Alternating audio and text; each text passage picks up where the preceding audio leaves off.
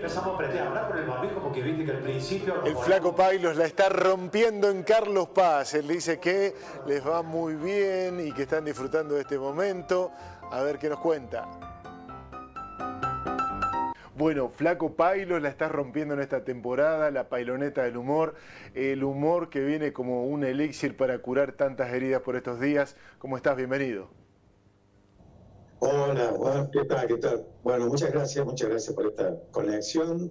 Siempre es bueno hablar y, con la zona, allá con la zona del Río Cuarto, toda esa zona que estamos siempre presentes, todos los años vamos, fuimos en medio de la pandemia, ahí al, Opus, en, Río Cuarto, así que bueno, contentos y con esta temporada que por suerte, en realidad eh, podemos decir que ha sido una buena temporada, podríamos haber dicho que ha sido muy buena, pero con, con que ha sido buena nos conformamos porque, bueno, vamos sufriendo estas cosas típicas de la pandemia, que volver, ir, eh, vamos para adelante, volver un poquito, pero bueno, por ahora estamos bien y nos bueno, lo, lo, que podemos decir de tu espectáculo es, una particularidad, porque en realidad eh, andás por el camino que transitaste toda tu vida con el humor, los chistes que ya conoces tanto. Sin embargo, hay mucha innovación también. Es muy particular y me parece que de ahí el, secreto de lo que están haciendo, que, por supuesto anda muy bien. Sí, bueno, eh, la incorporación del año pasado de mi, compañero Carla Dogliani, que ella es más conocida por el bicho, la esposa del espejo, bueno, por los audios. Bueno, y ahora ya está prácticamente consagrada Carla con sus personajes.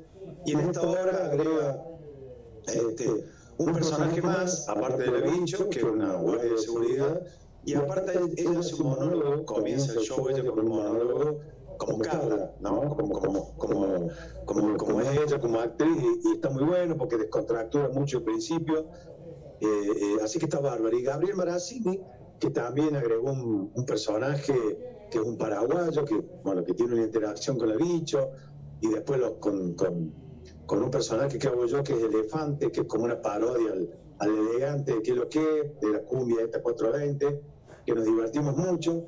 Bueno, yo también hago mi parte con mis chistes, con, con mi monólogo, también los doblajes que, que, yo hacía en una época de películas y series norteamericanas dobladas al castellano, pero en la provincia donde se van, donde se dan acá en Argentina, y este, este año hice tres Juego de Trono en santiagueño, eh, la vieja División Miami, no sé si te acordás, con Don Johnson en porteño, y, y, la película de Tarantino, la consagrada Tiempo, eh, eh, Tiempos Violentos, este, bueno, doblada en cordobés esa.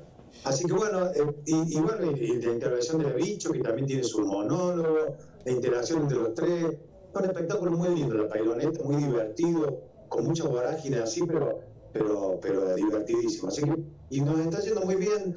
Estamos haciendo una función por día, tranquilo. Bueno, este domingo agregamos dos funciones, por suerte, porque el fin de semana este carnaval viene a full. Pero como te decía, después de la segunda, arrancó la segunda quincena de enero, mejoró mucho y ahora está bárbaro febrero y vamos a seguir una semana más de marzo. No son, sí, no son tiempos fáciles para los humoristas, la pandemia, el dolor, las complicaciones, la tensión, ahora la guerra, que un poco más, un poco menos nos toca y nos afecta a todos. ¿Cómo es esto de pararse al escenario, hablar de esto? Mira, yo creo que esto de la pandemia, que llevan dos años de esto, eh, fue muy loco, muy raro, porque todo arrancó hace dos años cuando yo empecé a hacer los vivos, los shows en vivo para las redes, para Instagram, y para Facebook, poniendo un teléfono ahí sin saber qué pasaba del otro lado, este, y después la respuesta de la gente, ese gracias enorme que lo mandaban agradeciendo que estamos llegando a la casa, que ya están todos encerrados. Bueno, arrancó así, y después empezaron a contratar de empresas para hacer el famoso Zoom con los empleados que estaban bajoneados. Bueno, una cosa muy rara, ¿no? Hasta estuve laburando en pandemia desde mi casa, así como estoy haciendo con vos, contando chistes a las empresas, a, gente que me contrataba para cumpleaños, una cosa rara, ¿no? Y por supuesto los, streaming en vivo, primero gratis, después pago con, un, con una entrada muy barata, donde toda la familia lo, lo podía ver. Después vino la temporada pasada eh, eh, muy rara porque este, la gente iba al teatro, eh, había que usar barbijo, estaba el aforo al 50%. Bueno, y este año que empezó que la íbamos a romper todo el mundo en el teatro y después viene otra variante que es la Omicron y bajó toda la expectativa a un 30% y la gente vio el teatro y ahí estábamos todos remándola, después se mejoró. Bueno, ha sido toda una... Pero bueno, la, idea era poner buena onda.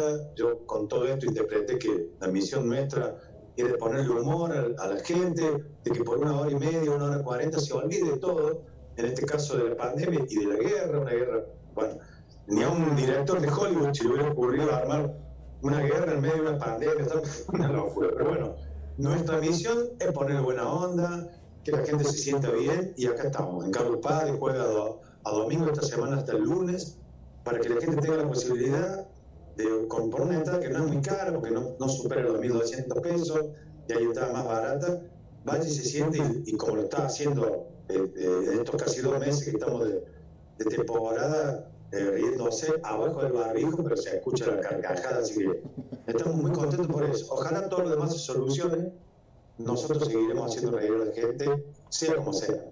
Bueno, te agradecemos tu tiempo, le pasamos muy bien y bienvenido sea el humor y el tuyo, que, que es desopilante y es un clásico. Un abrazo enorme. Un abrazo para todos. Y bueno, están invitados que vengan para Carlos Paz, para el de Carlos Paz. Estamos de jueves a domingos, vamos a estar la semana hasta el lunes. El domingo dos funciones con la pailoneta ahí en el Teatro Libertad. Y la semana, la última semana, es eh, eh, hasta el 5 de marzo, si no me equivoco, 6 de marzo, va a estar la paviloneta del Teatro Libertad para todos los que no han podido ir. Así que muchas gracias por la, por la buena onda y los esperamos todos. Sí, señor. Gracias por la sonrisa. Nos vemos. Un, abrazo. Chao, chao.